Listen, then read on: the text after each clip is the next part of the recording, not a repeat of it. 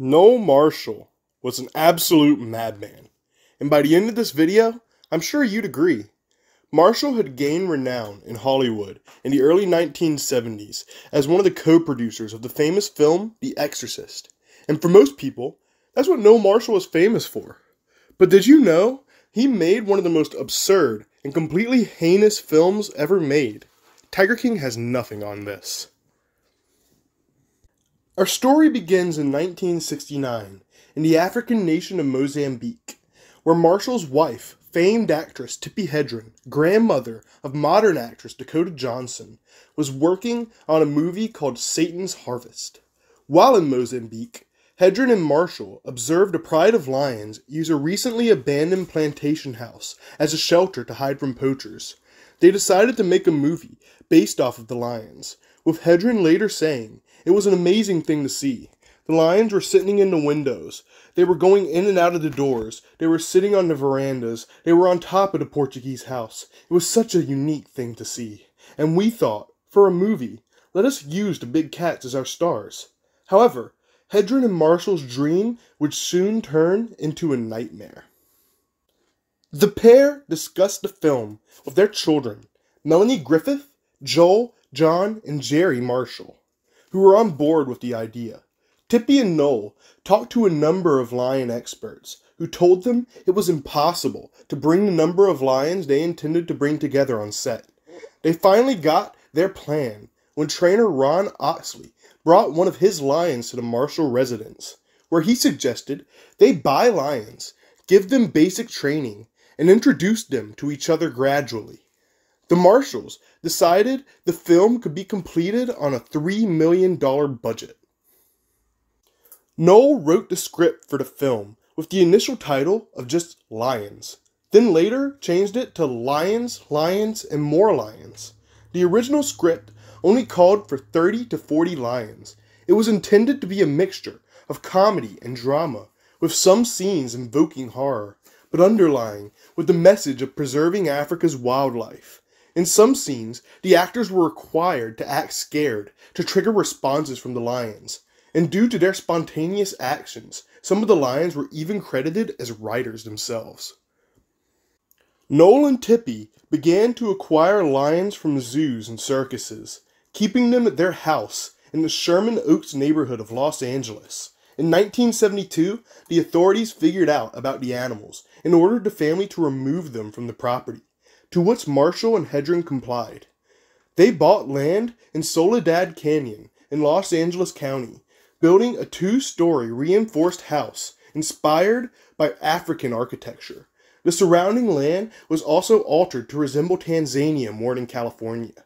Other buildings in the pair's compound included a kitchen, an animal hospital, an elephant barn, and a 10,000 pound freezer to store meat for the cats. Neat.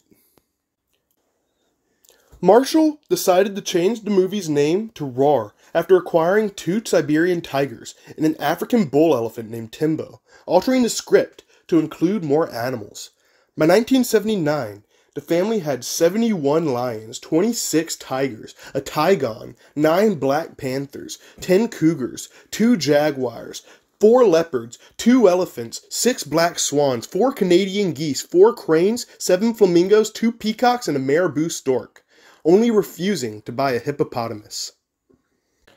Funding issues began in 1973, and the cost to pay the crew and feed the animals was around $4,000 a week. Marshall sold four houses and 600 acres near Six Flags Magic Mountain to pay his debts, and his production company went bankrupt. Marshall began using the money he got from The Exorcist to pay for the film. Tippi also sold possessions, including a fur coat Alfred Hitchcock had given her while filming The Birds. When asked why he took so many personal risks in 1977, Noel replied, You get into anything slowly. We have been on this project now for five years. Everything we own, everything we have achieved, is tied up in it. We're at a point where we just have to do it. John Marshall one of Noel's sons acted as animal wrangler and veterinarian, giving vaccines to the animals, which were plagued by airborne diseases. Around 14 lions and tigers died of disease in the decade of filming. Filming began on October 1st, 1976, but the crew could only film five months at a time because the cottonwood trees turn brown from November until March. The cameraman, John DeBont, often had to set up multiple cameras, filming the untrained lions all day, with often only one shot being usable. But all this pales before the onset injuries. Marshall was bitten through his hand while shooting a scene. Another time, he suffered eight puncture wounds on his leg by a lion who wondered what his makeup tasted like. By which time, he had already been bitten on 11 different occasions. Marshall got bit so much that he eventually got blood poisoning and gangrene. In 1973, Hedren was bitten on the head by a lion named Cherries, whose teeth scraped her skull. Hedren was given stitches and a tetanus shot.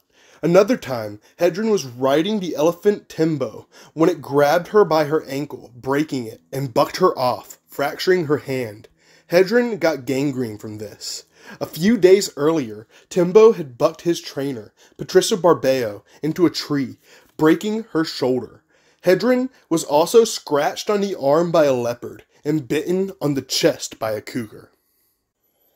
Melanie Griffith received 50 stitches after a lion scratched her face. It was initially feared she'd lose an eye, but she recovered without disfigurement. John Marshall was bitten on the back of his head and required 56 stitches, while Jerry was bitten on the thigh. John DeBont was scalped by Cherries, requiring 220 stitches, and returning to the set to finish the movie. He's the MVP. Assistant director Doron Kauper was bit in the throat and jaw by one of the lead lions, Togar, who also tried to rip Kauper's ear off. He required four and a half hours of surgery, but survived, after which 20 staff members walked off set. It seems the staff at the local hospitals were getting good at treating lion maulings at this point. On February 9th, 1978, a 10 foot high flash flood swept through the canyon. Noel was in the hospital, reportedly awaiting knee surgery, but left to help rescue the animals, reportedly hopping around on one leg. Along with the animals, four sound crew members also had to be rescued.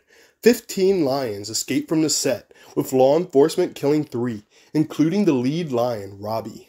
Just imagine being a cop on a normal, peaceful patrol when all of a sudden a freaking lion is walking across the road in front of you. I mean, it's also LA, so you'd probably just say, stranger things have happened, and not even bother. The flood caused over $3 million in damage. Many people offered to help the Marshalls, with the Southern Pacific Railroad Company, who was remarkably still a thing, donating rail cars for temporary animal housing. It took eight months to rebuild the set, but then 12 wildfires broke out in the region. But luckily, the set was spared, this time. Filming wrapped on October 16, 1979, with additional shots done in Kenya during editing. It took 11 years in total to develop the movie, with Roar releasing in February of 1981, but not in the United States, where, as Hedren stated, distributors wanted the quote lion's share of the money, which Marshall and Hedren intended to use to care for the animals featured. Although crew members say the film wasn't released in the US because the crew wasn't unionized. Roar was re released in the United States in 2015. The movie was a failure, only bringing in 2 million of its 17 million dollar budget. The re-release only grossed $110,048. Roar was Noel Marshall and Tippi Hedren's passion project, but it ruined the family. The couple divorced a year after the movie's release in 1982 with Hedren stating Marshall consistently became aggressive when they fought, eventually getting a restraining order against him, calling for Marshall to get psychiatric care. Marshall's son, John, recalled Marshall's abusive treatment of Hedren's daughter, Melanie Griffith, on set.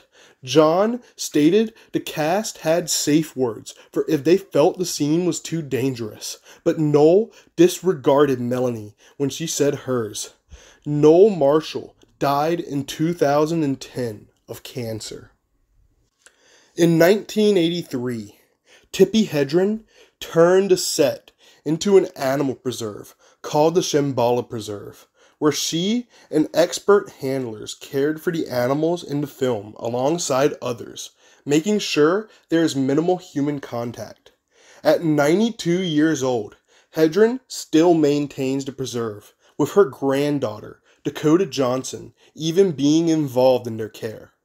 Hedren turned the legacy of the most dangerous movie ever made into one of animal conservation, never taking her mind off of her initial goal. The events surrounding the filming of Roar have been lumped in as part of the quote Exorcist curse, where misfortune followed everyone who worked on that film. It is estimated that somewhere between 70 and 100 crew members were injured on the set of Roar, but surprisingly, no people died. However, up to 17 animals died due to airborne illnesses and California police. Truly, Roar lives up to its nickname as the most dangerous movie ever made. Thanks for watching.